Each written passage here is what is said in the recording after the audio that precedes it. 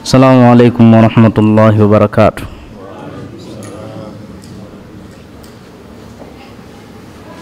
إن الحمد لله نحمده ونستعينه ونستغفره ونستهديه ونؤمن به ونتوكل عليه ونثني عليه الخير كله. ونعوذ بالله من شرور أنفسنا وسيئات أعمالنا. إنه من يهد الله فلا مضل له ومن يضلل فلن تجد له وليا مرشدا. وأشهد أن لا إله إلا الله وحده لا شريك له. وأشهد أن سيدنا محمدا عبده ورسوله. نبيا أعطاه الله شجاعة موسى وشفقة هارون. وعظمة سليمان وإقدام داود وبواسط يحيى ورحمة عيسى وصبر أيوب. بلغ العلا بكماله كشف الدجى بجماله وعظمة جميع خصاله. صلوا عليه وآله. أرسله الله بالهدى ودين الحق ليظهره على الدين كله ولو كره المشركون. اللهم صل وسلم على سيدنا محمد في الأولين. وصل وسلم على سيدنا محمد في الآخرين. وصل وسلم على سيدنا محمد في النبيين. وصل وسلم على سيدنا محمد في المرسلين. وعلى آله وصحابته ذوي الشرف العظيم. أما بعد فيا أيها الناس أوصيكم ونفسي بتقوى الله جل جلال. واتبعوا سنة رسول الله. واعلموا أن الفوز للمتقين. ومن لم يلبس ثيابا من التقى تقلب عريانا وإن كان كاسيا. Enyi ndugu Waislamu, nichukue fursa hii kukuhusieni nami kuhusia nafsi yangu kumcha Mwenyezi Mungu Jalla Jalal na kufuata mwendo na kutekeleza sunna za mwalimu wetu kipenzi chetu shifa yetu Bwana Mtume Muhammad.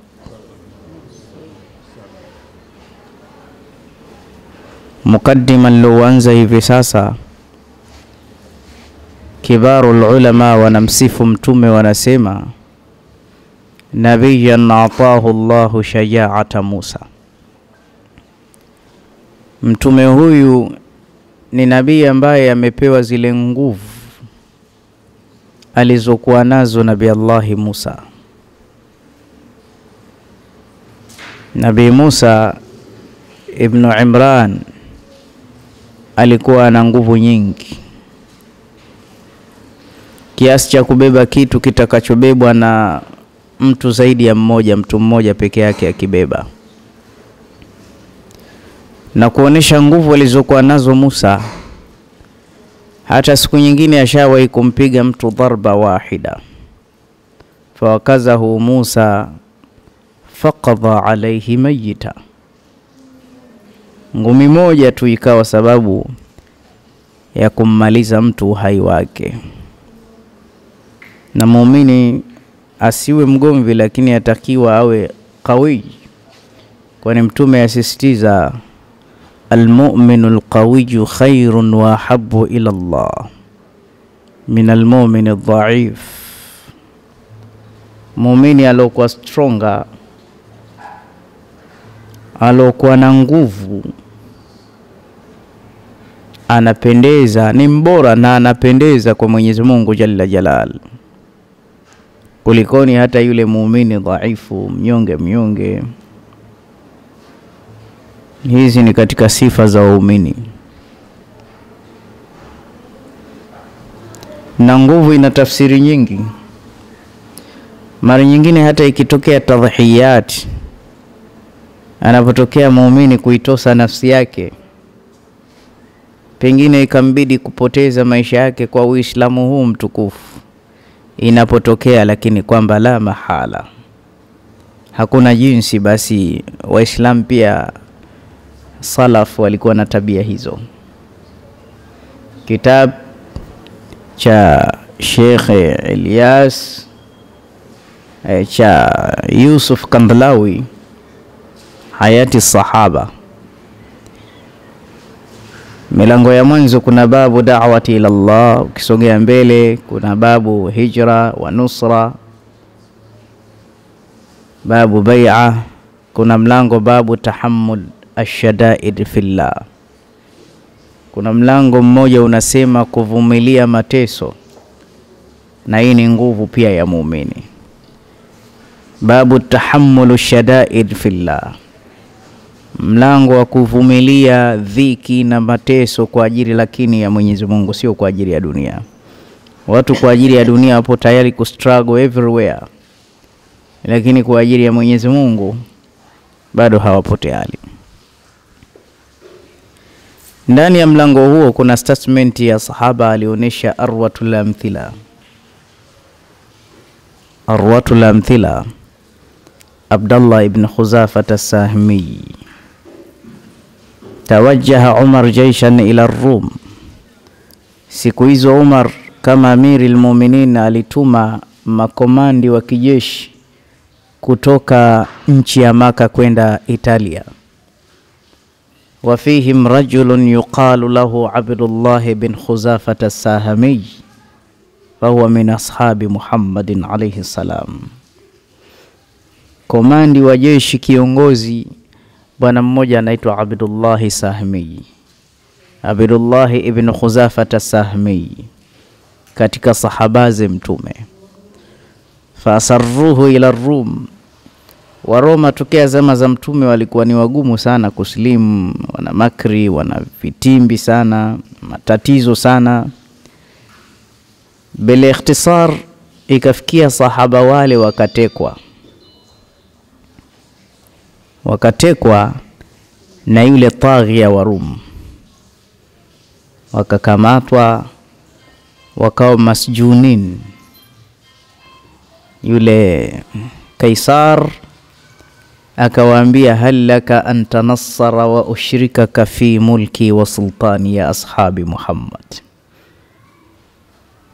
wenye mmeingia katika mikono yetu, sasa mnaonaje? Kuna option mbili antanassar Abdallah na kundi lako muwe manasara, mutoke katika Uislamu, lakini tushirikiane katika mamlaka, kuongoza nchi, kwa sababu tunajua watu wa Muhammad wana elimu, wamesoma mambo makubwa kutoka kwa Mtume Muhammad.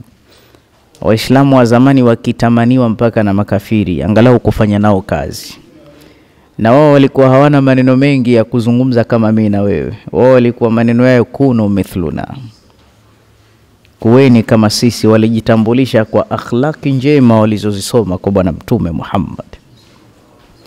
Kipindi wanaingia sahaba Ethiopia kufanya business, sababu biashara ndo kazi za Waislamu, wakawa wanauza tende. Mmoja anakuja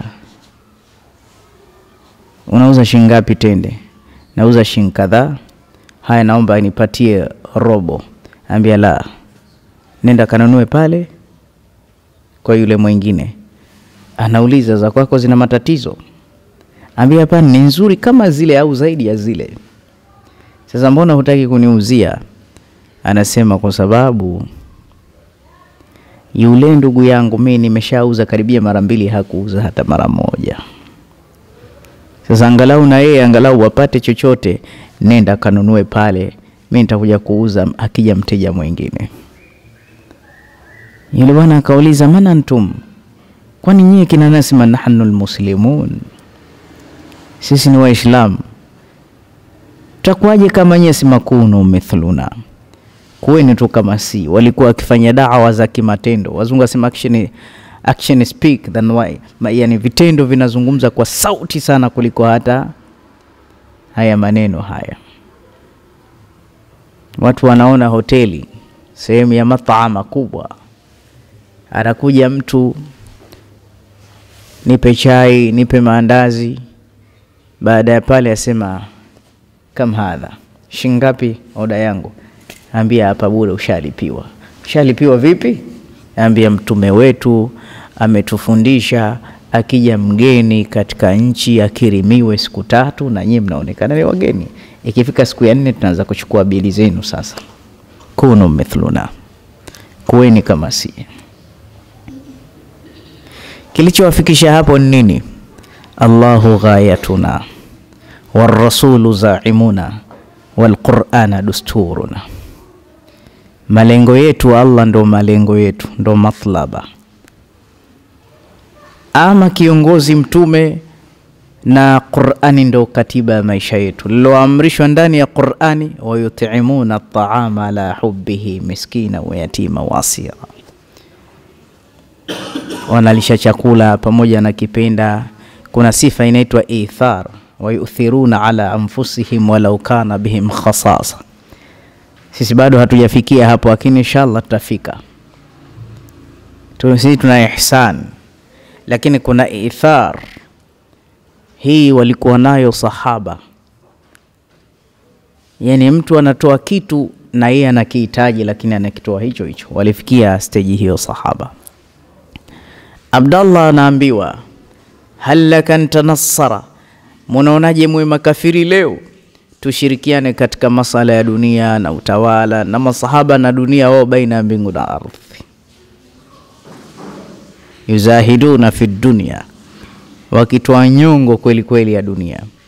Angalia jibu la Abdallah, anaambia lau a'taitani jamia ma tamlik wa jamia ma malaktuhu al-arab, kama utatupa yote unaomiliki na yote wanaomiliki wa arabu ulimwengu mzima an arji ala dini Muhammadin au ila dini Muhammadin tarfata ainin ma faalat, angalau tutoke katika dini ya Muhammad kiasi cha kupepesa ule ukope wa jicho, kisha tuwe tena Waislamu. Hata kwa kitendo hicho na kwa sekunde hizo hatupo tayari, hatupo tayari kabisa, angalau kuukosa Uislamu kwa kupepesa jicho. Sisi tusasema udkhul fi silmi kafa wala tattabi khutuwati shaitan. Tumeingia wazima wazima, hatufati mila za kishaitani. Sikilizeni kisa hiki cha Abdallah ibn Khuzafa. Akasema sawa, inaonekana mnaonekana mnapenda sana dini yenu nyie majeuri, na mimi nitakukufurisheni.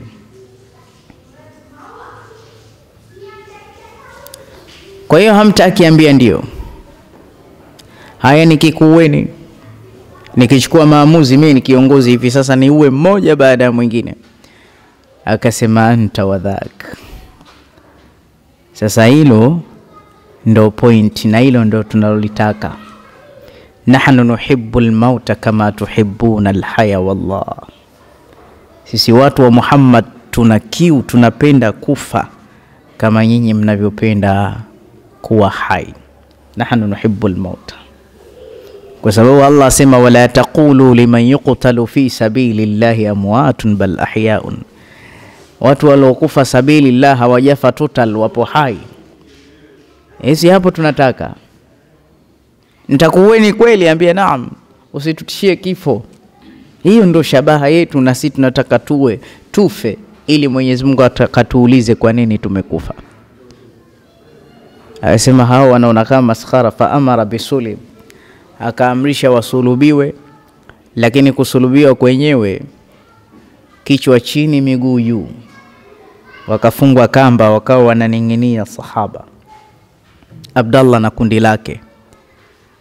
Waqala lirumat, akawaambia arumat ni wale watu wa tageti, walenga mikuki, wale wa shabaha, ambia irmuhu qariban min yadaihi wa qariban min rijlaihi wa huwa yaridh alaihi nasarani Hebu wapigeni karibu karibu na mikono. Saa nyingine ule mkuki unaukwepesha unakuja mguuni, alimradi kuwatisha tisha, na mlenga shabaha anaweza kufanya hivyo.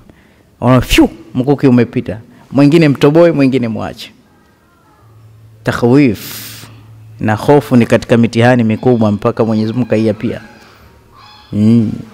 wala bishaiin min alkhawfi kwanza ndo mtume akakataza la yahillu lilmuslim an yurawia musliman. Si halali kwa muislamu kumtishatisha muislamu mwenzi wake. Hofu akaambia kuweni manasara mtakufa nyie. Asema nahnu lasna mustaidin. Hata hatupo tayari fanya utakavyofanya. Fa amara biunzil akakasirika yule kiongozi. Akaamrisha washushwe fadaa biqidrin fasubu fiha lma akaagiza sufuria kubwa hilo. Ndani yake akamimina nini? Maji. Yakachemka yale maji sana. Fa asraini min almuminina faulqiya fiha. Akachukuliwa mtu mmoja katika wale mateka. Akatoswa kwenye yale mafuta angalia makafiri walivyokuwa wabaya ukiingia kwenye anga zao waislamu. Makafiri ni makafiri. Maskini zamani walimkamata Ubay bin adi sahaba wa mtume akiwa anakatwa vinyama vipande vipande.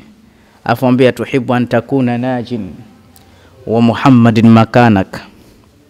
Upo tayari angalau tukuokoe aje mtume akureplace akasema sipo tayari nisalimike mali wala watoto hata ule mwiba sitaki umchome Muhammad huko aliko hata msimtaje kwa ubaya. Alikuwa akikatwa vinyama vipande vipande. Hawa ni watu waliofanya nusra kwa ajili ya mtume muhammad. Basi akadumbukizwa katika jungu la mafuta kucha zake meno macho vyote vimeelea juu.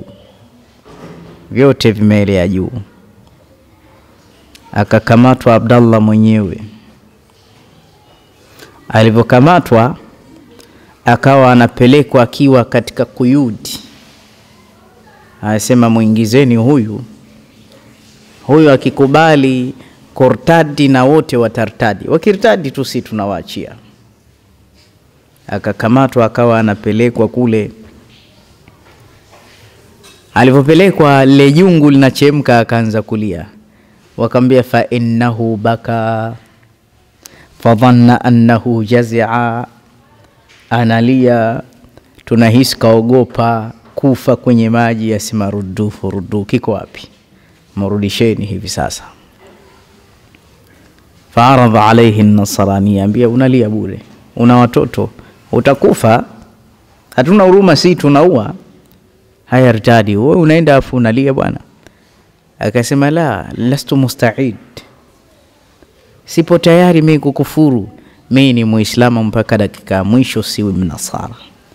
Ambia ma abakaka idhan? Au ma yubekika hasa unalia nini sasa? Asema liannani abki kweli mimi nalia wala sili kwa huu wasa wa umoto na ili jungu kwamba unanichoma sasa hivi unaniangamiza wallahi kinachoniliza na kuniteghera na wivu nafsi yangu ni moja tu. Natamani nafsi yangu ingekuwa ina wingi kama biadadi sha'ratin ala jasadihi kulli wa kullu nafsin tulaqa fi llahi wahidan bada al-akhar. Lihadha ana abki natamani hizi roho zangu zingekuwa zina idadi kubwa zingekuwa nyingi roho zangu kama wingi wa nywele zokuwepo katika kiwiliwili changu kizima. Halafu kila roho naichovya ife katika mafuta haya kwa ajili ya allah. Sasa ile fursa ya kufa kwa ajili ya mungu ishatokezea ndo nife mara moja basi. Hata mtume ashawahi kusema hakuna atakayetamani afe auwe auawe afu afe tena arudi auwe auawe tena kama mujahid zile fadla anazoziona kwa mwenyezi mungu atatamani qatala wa uqatil. Kwa sababu mujahid atakapofia atakapofia mujahid sabilillah basi pale alipofia mpaka nyumbani kwake mwenyezi mungu anamtengezea kasri kubwa. Lubnatun min dhahabin jengo la dhahabu fedha lulu kwa fadla anazozipata kwa mwenyezi mungu subhanahu wa taala Akasema hicho ndo kinachoniliza sasa. Kufa mara moja mia haitoshi, nataka nife hata mara milioni, nakufa tu nakufa tu. Ndio maana asema kumbe nikikutesa hata hakuna lolote la ziada.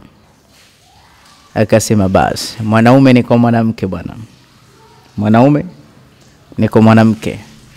Akaingizwa chumba maalum, akaletewa binti mrembo wa Kiroma, private room. Yule mwanamke akaambiwa, nenda kaa hali ya nusu uchi, imba nyimbo, cheza mpaka huyu swahaba tumuone japo amezini. Angalia, mashetani wa kijini saa nyingine wanasaidiwa na mashetani wa kibinadamu, angalau atetereke kidogo tu. Akaingia mwanamke mzuri wa Roma, mrembo, mwari, akatoa nguo, akacheza mbele ya Abdallah bin Khuzafata Sahmi. Masahaba walikuwa akicheka Waislamu kama sie, lakini ndani ya vifua vyao wallahi kuna milima, kuna imani kama milima hawatetereki na hawajawahi kutetereka. Akacheza, sahaba kamtizama, kisha alivyomaliza kucheza ambia, haya sogea hapa. liyalama linsan anna almauta masrauhu wa tahta larda mautinuhu waturaba madjauhu wadudatu anisuhu walmunkari wannakiru jalisuhu walqiyamatu mawqifuhu wannaru au aljannatu mawriduhu. Ambia mama, umecheza umefanya hivi, elewa umauti upo, unatunyemelea. Akaelezewa mawaidha ya kifo ya kutisha tisha. Yule mwanamke mwenye katoka mbio akafika ambia yule bosi wake, laqad arsalni ila hajaran am rajulan, hivi umenituma kwa binadamu au umenituma kwenye jiwe? Lile jiwe lile, kwa binadamu angalau ungehisi kidogo, lakini wallahi lile ni jiwe. Hawa ndo masahaba wa Mtume. Akamwita ambia, bwana we umekuwa mbishi, ukiuliwa huogopi, wanawake hawakuwezi. Hal laka rasi wa khalli ank. Wa usara almuslimin, je, unaweza ukanibusu kidogo usoni? Mi mtu mzima siwezi kuachia hivi, hata ngekuwa haina faida.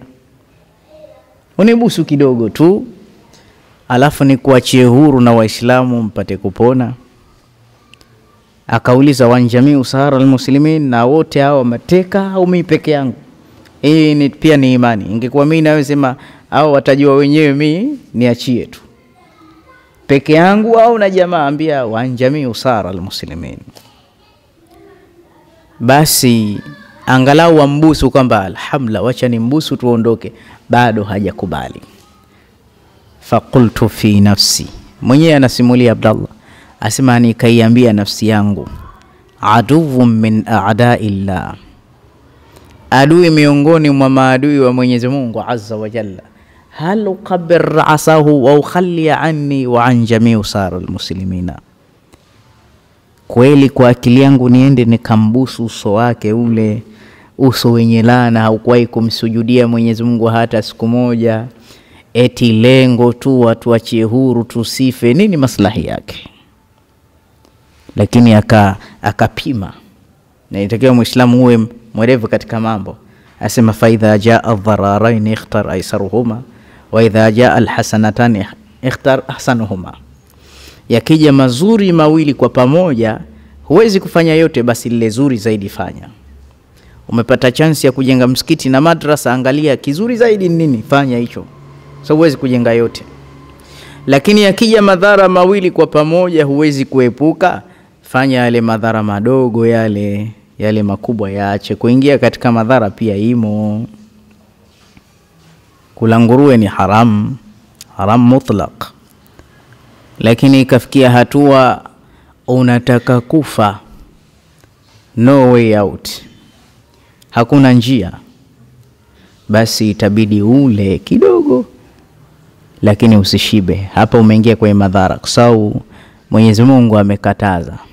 Nyamafu wa lahma alkhinzir wama uhilla lighairi llah afu asema faman idhturra ghaira baghin wala adin fala ithma alayhi, atakayedharurika bila ya uadui wala dhambi, basi hana lawama. Hapa kwa chakula nyama hiyo ni madhara, kwa sababu utakufa, na ukila pia ni madhara. Madhara madogo ni yapi? Ule kidogo ili usife. Kwa hiyo kuna baadhi ya mambo muharamati yakaruhusiwa. Uongo ni haramu mahma kan, lakini kuna dharura zake tatu. Mtu kidogo kumdanganya mkewe, sio maisha yote uongo, kwa mambo ambayo yatajenga ile ndoa. Mara nyingi ukiongea kila ukweli utaharibu mambo mengine, hapo ukaruhusiwa uongo. Lakini akbarul kabair alishraku billah wa qatlu nafsi wa qaulu zuri, maneno ya uongo ni haram sana.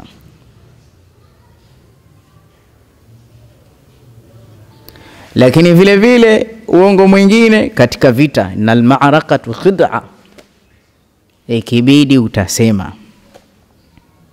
Na anayesuluhisha watu, hiyo ni madhara. Umeingia katika madhara katika kutengeza jambo, na kusengenya ni makosa makubwa. Aya zimeanza wailul likulli humazati lumaza, lakini kama utamsengenya mtu kwa ajili ya kumwokoa katika majambo itakuwa ni ibaha na kuiba mahma kan assariqu wassariqa faqatau aidiyahuma jazaan bima kanu yamalun. Wizi ni haramu mno na ni haki yako ukatwe mkono, lakini ikafikia hatua utakaufe Muislamu, utakaufe na njaa, kuna chakula cha watu ukiomba hutopewa, basi utaiba kidoncho na usishibe, sawa eh? Kidogo kwa kujiokoa na umauti, hilo limeruhusika. Kwa hiyo dini yetu inayo milango ya dharura, kwa sababu hii ndio maumbile ya kibinadamu. wala tulqu aidiakum ila tahaluka, msipeleke mikono katika maangamivu, lakini mtambue kulla sharai lislam fiha khairun wa salahu lilinsan, kila sheria moja ya Kiislamu ni bora na ina maslaha kwa mwanadamu kwani yaamuru lislam, Uislamu huamrisha an yakuna sababan lilmahabati wal alf, chanzo cha heshma utukufu, izza. Kwa hiyo Uislamu ni neema, wakafa bihi neema. kiona sheria ngumu ngumu, hiyo hiyo itakuwa si ya Kiislamu. Ad-dinu yusra, Mtume anasema dini ni nyepesi, na akasema wala tushaddidu din, usiifanye dini ngumu, itakushinda dini. Zamani za kale alipita pahala akaona Mtume wanawake sahabia zake wakicheka wakifurahi sana, lakini mmoja kanuna akainama chini. Mtume akamtuma Aisha, hem, kamuulize yule mke wa nani? Asema wewe una nini mpaka Mtume kantuma? Asema mimi ni mke wa Uthmani ibn Madhuun. Uthman ni ndugu wa kuzaliwa na Mtume wa kunyonya, ndugu wa kunyonya Akasema afadhali jamani, Uislamu wenyewe kama ndo hivi, mimi mwenyewe basi tena mume wangu huyu naharan fi siyaman wa laylan fi lqiyaman. Na kuna watu wana kasumba hizo, sijui amemwolea nini. Mchana kutwa amefunga Uthman, usiku kucha qiyamu llaili, wallahi ma indana faragha, ule muda nyeti wa mke na mume. Unajua kuna baadhi ya mambo ukiacha udarueshi ukiyafanya, wallahi anasababisha ule Uislamu wako ukafana ukaonekana mzuri, lakini dini unaichukulia ugumu ugumu, mzito mzito, itakuwaje? Akasema huyu mume wangu usiku na mtaimu ya zauji, mume wangu uridu kalfirashi, uridu kalfirashi, kidogo na mimi ni mkeo Asema alyaumu qiyamu llail, leo ni qiyamu llail. Na wakati siku moja tumethibiti zilivyoshuka zile aya zisema, inna fi khalqi samawati wal ardi wa ikhtilafi llaili wan nahar la ayatin li ulil albab alladhina yadhkuruna allaha qiyaman wa qu'udan wa ala junubihim wa yatafakkaruna fi khalqi, mpaka mwisho aya hizo zilivyoshuka usiku ule, ilikuwa ni zamu ya mama Aisha, ilikuwa ni zamu yake ile. Bwana Mtume anaambia Aisha, zaujati Humairati, ewe mke wangu kipenzi, na kuomba unipe ruhusa. Angalia, Mtume anataradhilia, anaomba ruhusa na kuomba unipe idhni. Leo zimeshuka haya mzito, usiku wako wa leo nimpe Mwenyezi Mungu Subhanahu wa Ta'ala. Hakuamua tu leo swala, leo huniambii kitu na kuomba usiku wa leo. Aisha asema ya Rasulullah, ana uhibbu hawaka, mimi napenda shahwa zako, napenda maana ya shahwa, yani matamanio, usielewe vibaya. Yani shahwa, yani hawa, kile unachokipenda ndani ya nafsi. Kwa hiyo mimi napenda hawa yako, napenda matamanio yako, yani kile unachokipenda wewe, na mimi ndo napenda hicho hicho. Kama unapenda leo kusimama qiyamu lail, basi nami Aisha napenda. Angalia, ukiwa na mke umechagua, mnafanana tabia lakini kama unapanda leo tulale, basi nami napenda hilo hilo, wanafanana tabia. Ndio maana ukaambiwa ukiwa mwizi usiwe tabu, oa mwizi mwenzio, mtaendana. Ukiwa mcha Mungu mtafute mcha Mungu mwenzi wako. Tunachofeli wewe mwenzio ana jazba za kidunia, wewe una jazba za kiakhera, mnaoana hamwezi mkaelewana. Ukirudi mikono mitupu, balaa huyu kutafuta mzembe, wewe haijui kadari ya Allah. Lakini sahaba wa Mtume wale wake zao alikuambia, ba fulani, wewe unatoka, fanya ufanyavyo, mme wangu, bora urudi mikono mitupu, usituletee riski ya haramu ukafisidisha nyoyo zetu, tutasubiri. Lakini leo unaambiwaje? Kopa, nyang'anya, dhulumu. Kama huna laki mbili usikanyage hapa. Ndio maana watu wanakuwa matapeli, na huu wote ni ufukara huu. Waislamu, Mtume akasali usiku ule mpaka akalia, mpaka mama Aisha asema yote haya ya nini, nakati ushasamehewa dhambi zote zilizopita mpaka za baadaye. Ambia we hupendi nikawa miongoni mwa waja wenye kushukuru? Hivi ndio unashukuru neema za Allah. Leo Uthmani ibn Madhuuni, Mtume anaambiwa huyu Uthmani huyu kawaman, usiku hana nafasi ya mke wake qiyamul lail. Alfajiri mke anasema haya, leo umekesha mwenzangu qiyamu lail. Haya, hii alfajiri basi, ambia ni saim, mimi nimefunga. Mwanamke unapenda balaa sana wewe, miezi mitatu mitano mtu hajaingiliwa. Hebu niambie. Imam Shafi kwa kauli yake asema mwanamke akiwa hajaingiliwa siku nne tu ile anaanza kufeli.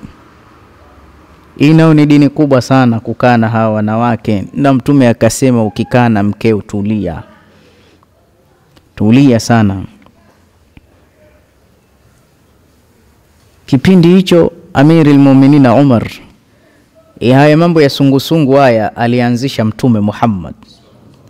Umar akawa ametuma jeshi la Kiislamu usiku, akawa anafanya patrol kuangalia usalama wa mitaa akapita pahala kuna nyumba, akasikia mwanamke tena mtu mzima anahamaki, asema ah, hadha llail waswadda janibuhu falaula hidharu llahi la shay'an mithluhu la shay'an mithlahu la zu'ziya hadha sarir min jawanibuhu. Maneno haya yanatoka kwa mwanamke tena mtu mzima, tatawala hadha llail Wallahi, usiku wa leo umekuwa mrefu, na ukiwa bachera kweli usiku unakuwa mrefu hakuchi, na hata simpati mtu wa kukamatana naye wa kucheza naye.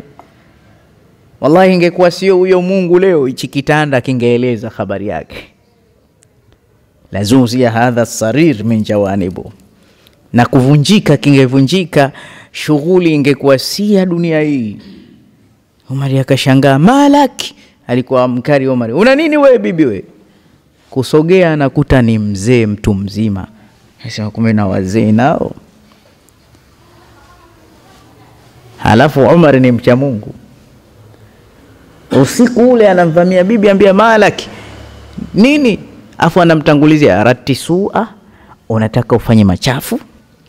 Lakini ingekuwa mimi na wewe, haina haja ya kulalamika sana. Mimi mwenyewe nipo mitaani taani humu.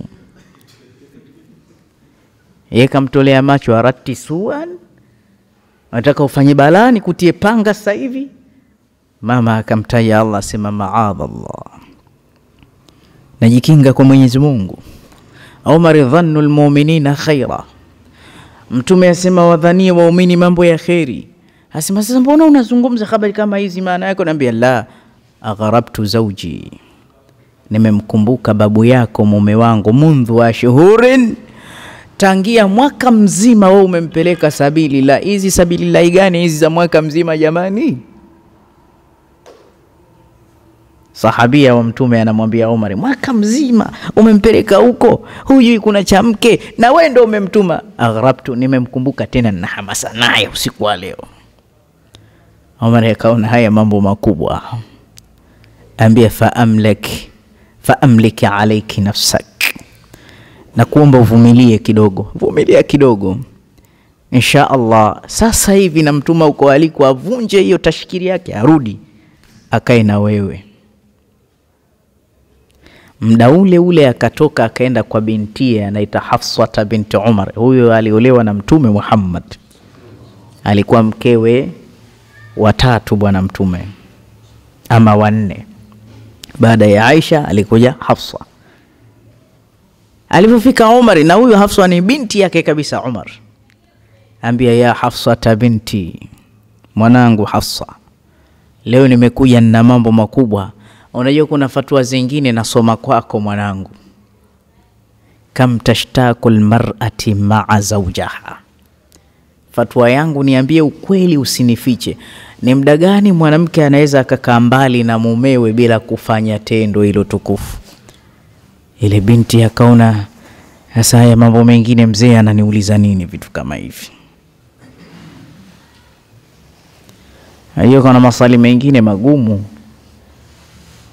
na hupendi ukaulizwa wewe, japokuwa inna Allah la yastahi min alhaq.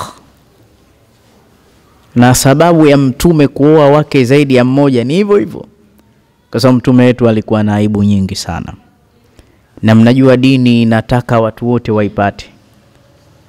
Hata mwanamke mmoja zamani anamfuata mtume, ambia ya Rasulullah, inna liya damun haid, na damu ya hedhi, nipe fatwa mtume Ataka kweli kujua?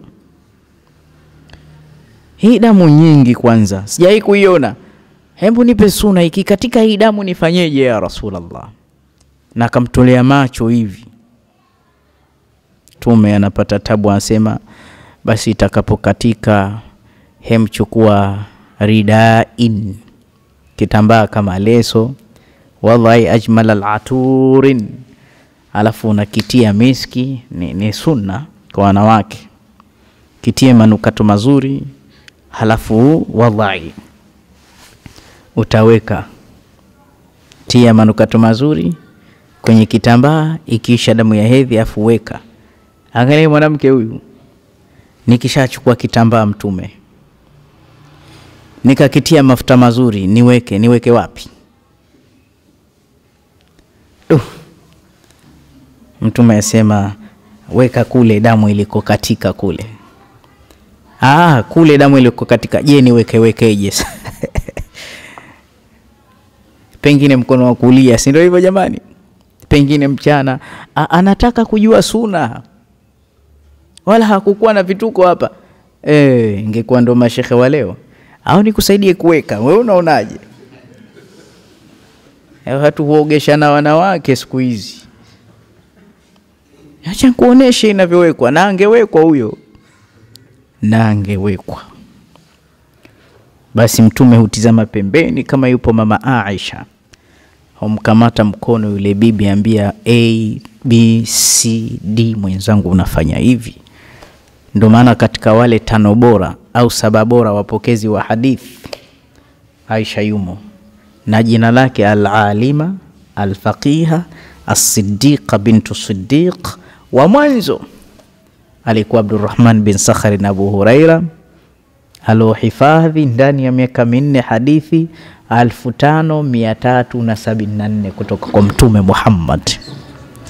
Kisha akaja muhadithi mtoto mdogo Abdullahi ibn Umar katika wale abadi la watano katika vitabu hivyo ana elfu mbili mia tatu na themanini na sita hadithi. Kisha Abdullahi bin Jabir, kisha Anas ibn Malik, kisha Said al-Khudhuri, kisha kisha mwisho Aisha. Kwa hiyo kutoka hapo katika sababu bora hawa kuna hadithi kumi na nane alfu za Bwana Mtume Muhammad, waliobakia wengine ni hadithi chini ya alfu moja. Aisha akiwemo ndani yake, na sahaba wengi walipata kusoma masala mengi kwake yeye.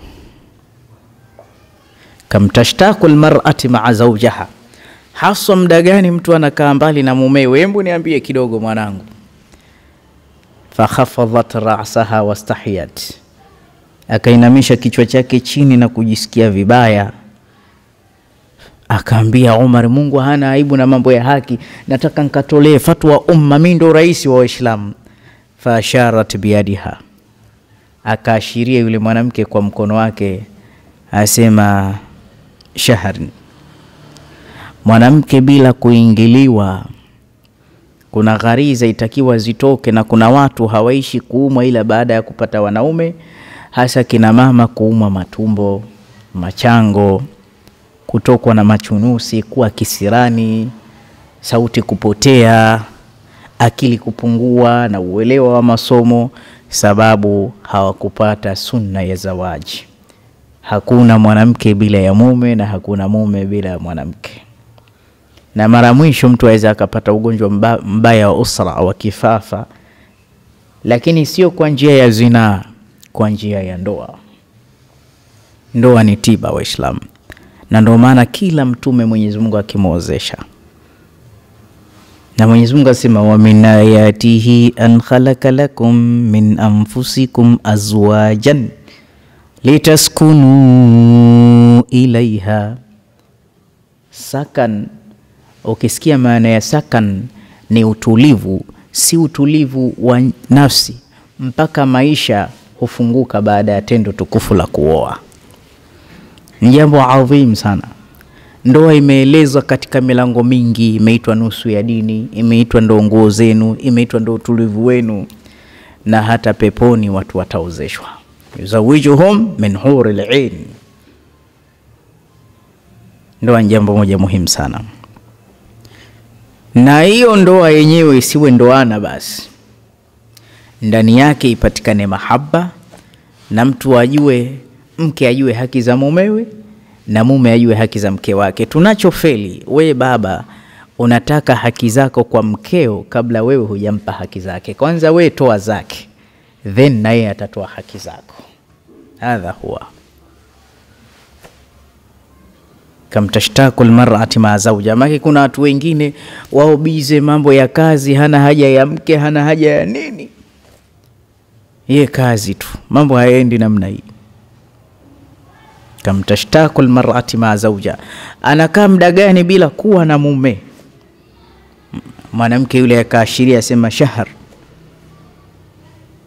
akasema thalathatu ashhur, akasema kwanza anaweza akakaa mwezi mmoja, lakini huu mwezi mmoja utakuwa umemtia katika dhiki mwanamke, na hii ni kwa dharura hivyo, wa illa shaharain, kama dharura imekuwa kubwa, basi pia anaweza akavumilia angalau miezi miwili, na hiyo miezi miwili ana, akasema Hafsa, umeidhoofisha subra yake.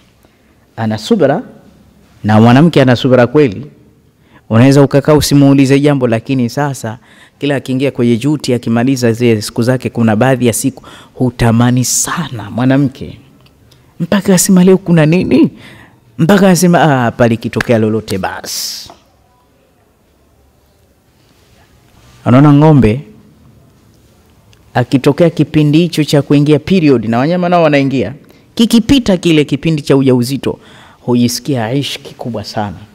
Sasa kwa sababu ni mnyama hana haya, utaona anza kupanda wanyama wenzi wake, na kati yeye ni wa kike, Ukimwona akipanda, wale watu wasema ng'ombe huyu anahitaji dume, na mara nyingine hulia usiku wa mlali mo mo wasema huyu hata ulia mpaka apatiwe.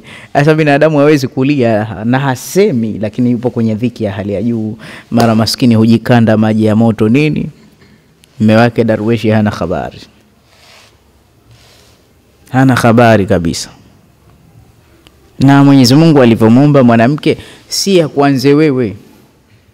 Na mara nyingine, subhanallah, yule mwanamke unaweza ukahitaji jambo lile, naye anataka. Lakini akakataa. Kuna kukataa kwa aina mbili, kuna ile sitaki, ukimgusa nimekwambia sitaki, sitaki kweli, huyu hataki kweli, lakini kuna ile sitaki, nataka. Sasa basi, ah bwana, sio bwana, eti nawe unasua kama utaki, basi na mimi sitaki. We ni shababi bwana. Basi huona raha sana mwanamke akiona mumewe humsumbua kana kwamba hataki, lakini wallahi hataka. Na mfumo huo huo mpaka unajua ulichukuliwa. Leo tutazungumza dhikiri ya Adam. Kuna kisa cha Adam tutamalizia, tutanguliza cha mbele. Adam wakati anatafutana na mkeo wa mwanzo kumwona mwenzi wake alikuwa ni Hawa, kumwona Adam pale Jabal Rahma Arafa. Kila mmoja anamtafuta mwenziwe, lakini sasa ikawa Hawa alivyomwona Adam akauliza ndani ya nafsi, bado anamtafuta mie au ndo kashakata network, hana mpango na mie, lakini atapita hapa akajifanya amesinzia. Hawa alaiha salam, Adam kupiga piga tochi, hey, huyu si Hawa huyu, akaenda mbio akamkamata, wewe wewe na yule naye kama hataki, niachie bwana, wewe niachie bwana. Akaambia bwana bwana, akampigia magoti, mke wangu nakupenda, tusigome. Ah, wanasema aliutafuta ule moyo wake. Ah, kumbe ndo wewe. Nilishtuka nikajua jini au mzimu, kumbe ndo wewe Adam. Sasa wanasema ulamaa, wanawake wote wamechukulia hapa, wamtaka hivyo. Sasa inakuwaje? Tuheshimiane ustadhi, tuheshimiane. Wakunioa mimi wewe, lakini wallahi ndani ya nafsi anasema Mungu mjalie asikate tamaa, asikate tamaa. Asikate tamaa. Sasa na wewe kwa sababu hujui maumbile, kwa sababu hii yote dini ndio inafundisha, na wewe kitu kidogo tu usha ah, basi hataki huyu. Wenzio wanasema mwanaume hauliwi na kirungu kimoja, ukipigwa cha pili nenda tena ukaongezwe chengine na yeye mwanamke hujisikia raha akihisi amekusumbua, manake mwenyewe. Wallahi mimi zamani, kuna mwanamke mtoto wangu mtoto wangu yani mtoto wa kaka yangu, naam, nilishawahi kushuhudilia ili, alishawahi kuniambia. Alikuja bwana mmoja akaleta posa, akaletwa yule binti, akaulizwa vipi akaambia sitaki na msiniambie mambo hayo. Akatoa ukali si wa kawaida. Barabarani anatoka ile bwana alomfuatilia akaona naye, akaambia nitakupa chochote eh, shika. Akamsukuma mpaka kule. Basi yule mwanamke, watu wote tukaamini hana mpango. Mimi kama baba yake mdogo akanifuata akanambia, wallahi ba mdogo mimi yule bwana nampenda, nataka anioe. Sasa wewe si umemfukuza? Ah, tu sijui inakuwaje. Ndo maumbile yao, ndo maumbile yao. Mimi nikamwambia mkwe, kaza kaza, uje tena. Ambia bwana yule hataki tena. Nikamwambia anataka. Kwa hiyo usione kuku nao hivyo hivyo, anafukuzwa kuku, analia, anapita miguuni mwaka, ile ndo raha yenyewe ile. Anasema jogoo, kazana unikamate wewe Hadha huwa wa illa shahrain, mwanamke akijibana bana basi miezi miwili. Na mara nyingine mwanamke hakuulizi, na ni aghlabu sana, mbona halifanyiki tendo la ndoa? Hakuulizi, lakini ukamkuta analalamika mtaani, hata hashughuliki na mimi, mbona hajaniambia? Wewe unasubiri uambiwe? Wewe si wa kuambiwa, tekeleza faradhi hiyo. Kisha akasema wa illa thalathatu ashhurin, asema au anaweza akavumilia miezi mitatu, lakini hiyo miezi mitatu unaweza ukamtilia hata na maradhi. Miezi mitatu unaweza ukamtilia na maradhi akaanza kuumwa tumbo. Wa illa fa arba'ata ashhurin wama fawqaha, kinyume chake anaweza akakaa miezi minne, ukiongeza anaweza akawa chizi na ule ugonjwa wa kucheka kina mama. Ndo maana eda hakuna zaidi ya miezi minne, si ndio hivyo? Hakuna pale pale. Fakataba Umar alla tubhasa aljuyusha fauka arbaata shuhurin, akaandika asema kundi ziende dawa, lakini nyuma kuna dini kubwa zisizidi zaidi ya miezi minne. Marfu akataza jambo hili Amiri lmuminin Umar. Huyu mtu mwingine ubizi mambo ya kazi, hii dini kubwa hii, jambo kubwa sana hili. Basi Amiri lmuminina Umar akapata jawabu, ana ile kundi na yule bwana akarudishwa kwa mke wake. Sasa leo Sayyidina Rasulullah anaambia Uthmani bin Madhuun anasimama usiku, mchana anafunga, hana haja ya mke, mkewe kanuna, hana raha ya maisha. Mtume akamfuata Uthman akaambia, waman qudwatuka ya Uthman, kigezo wako we nani? Ambia anta ya Rasulullah